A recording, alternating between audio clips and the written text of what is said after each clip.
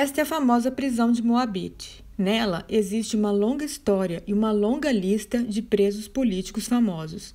Foi aqui que Olga Benário, a Olga que Camila Morgado interpretou no filme Olga, planejou com seus companheiros militantes um assalto à prisão para libertar o então seu namorado, preso político, Otto Braun.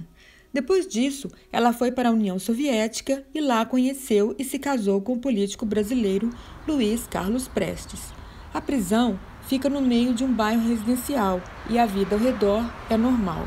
Do outro lado da cidade, esta rua tranquila homenageia Olga e na placa lhe descreve como vendedora e antifascista.